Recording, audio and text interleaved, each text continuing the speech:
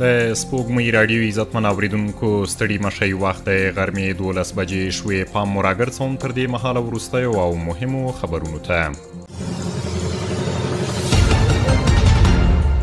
د هرات ځای چارواکي وایي هغه بریدګر یې وژلي چې د پاشدان بند پر ساتونکو یې برید کړی وو د هرات د والي ویاند رسنیو ته ویلي چې وسلوالو نن سهار د پاشدان بند پر ساتونکو برید وکړ خو تر پیښې وروسته د امنیتي ځواکونو له لوري تعقیب شوي او د پښتون زرغون ولسوالۍ په تونیان کلي کې وژل شوي دي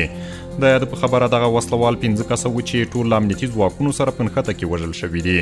پاشدان تر سلما وروسته په هرات کې د اوبو مهم بند ګڼل کیږي چې د جوړونې چارې روانې دي پر دغه بند په نننی برید کې درې امنیتي ځواکونه وژل شوي او یو بل ټپي دی افغان حکومت د برید مسول وسلوال طالبان بولی خو دغې ډلې په دې اړه غبرګون نه دی ښودلی د بغلان د استادانو پر موټر په برید کې دوه کسه وژل شوي او شپږ کسه نور ټپیان دي د امنیتي سرچینو د معلوماتو له مخې پر دغه موټر په پلي خمري ښار کې راکټي برید شوی دی سرچینه وایي چې په وژل شوو کې یو موټر چلوونکی او محصل شامل دی او ټپیان بیا ټول د بغلان پوهنتون استادان دي په دې موټر کې ټول ټال پنځه ویشت کسه محصلین او استادان د پوهنتون پر لور روان وو چې د لارې په اوږدو کې برید ورباندې شوی دی تر اوسه د دغه برید مسولیت هیڅ ډلې نه دی منلی په کابل کې د تیری ورځې چاودنې ګڼ غبرګونونه پارولې دي په خواله او نورو رسنیو کې د کابل خاریانو او کارونکو د تیری ورځې چاودنه بګنونکې بللې ده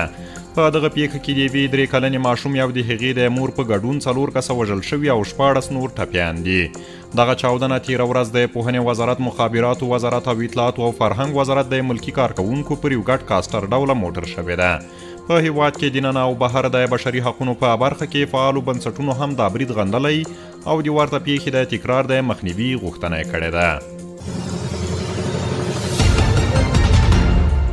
امریکا وایي د مسکو غونډه به د افغان سولې لپاره د نړیوالو هڅو تکمیلونکې وي د امریکا د بهرنیو چارو وزارت ویلي چې د افغان سولې لپاره د دوی ځانګړی استازی زلمی خلیلزاد د جو بایډن په لارښوونه د مسکو په غونډه کې ګډون کوي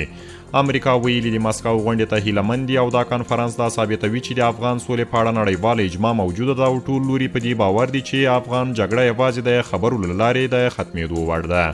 بلخوا رویټرز بیا ویلي د مسکو په غونډه کې د خلیلزاد ګډون په دې معنی دی چې امریکا او روسیا دواړه د موقت همشموله حکومت پر جوړېدو سره سلا دي د مسکو غونډه د روانې میاشتې په اتلسمه نیټه جوړیږي چې په هغه کې به طالبان افغان حکومت او امریکا ګډون کوي اوریدونکو خبرونه مو تر همدې ځایه ولملتیا مو مننه